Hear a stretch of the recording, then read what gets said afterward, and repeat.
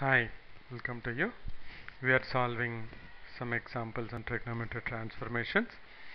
So we have a problem here. If a comma b comma c are angles of a triangle, then show that cos a plus cos b plus cos c equal to 1 plus 4 sin a by 2 sin b by 2 sin c by 2.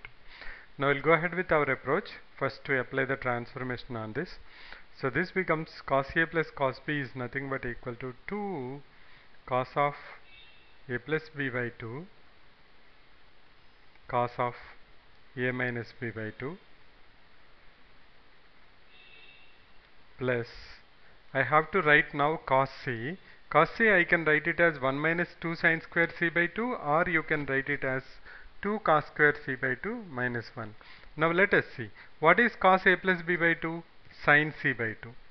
So and in the answer also I have sine c by 2. So I'll write it as 1 minus 2 sine square c by 2 so that I can take sine c by 2 common. Okay. Now cos a plus b by 2 is nothing but equal to sine c by 2. So I will write it as sine c by 2. That's a change. 2 sine c by 2 cos of a minus b by 2 plus 1 I can take it here. I'll just take it to the beginning. This becomes minus now. Minus 2 sine square c by 2 now you can take 2 sine c by 2 we can take 2 sine c by 2 common. So this becomes 1 plus 2 sine c by 2 into cos of a minus b by 2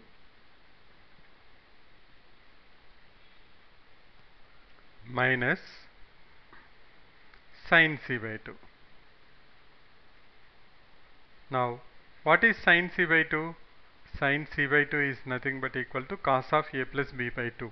So, I can convert it back into again cos of a plus sin c by 2 I can make it as cos of a plus b by 2. This is nothing but equal to cos of a plus b whole by 2. So this becomes 1 plus 2 sine c by 2 into cos of a minus b by 2 minus of cos of a plus b by 2. Now this is of the form cos d minus cos c.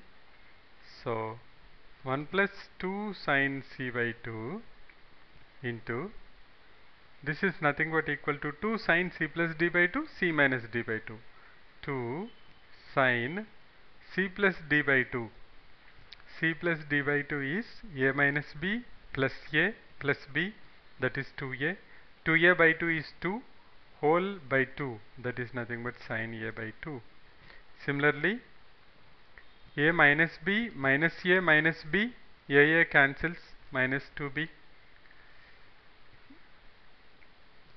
you have to do C minus D. This is C, this is D. So it is A plus B minus A plus B by 2 into 2. A A cancels, that is 2B by 4. That's nothing but equal to sine B by 2. So this is nothing but equal to 1 plus 4 sin a by 2 sin b by 2 sin c by 2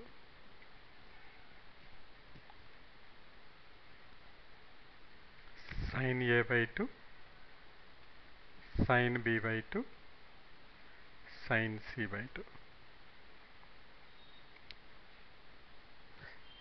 so in in the last two videos we have seen if ABC are angles of triangles initially we seen 2s then we have seen yes. Now let us see what will happen if it is sin a by 2 plus sin b by 2 plus c, sin c by 2 or cos a by 2 plus cos b by 2 plus cos c by 2. That we will see in the next video.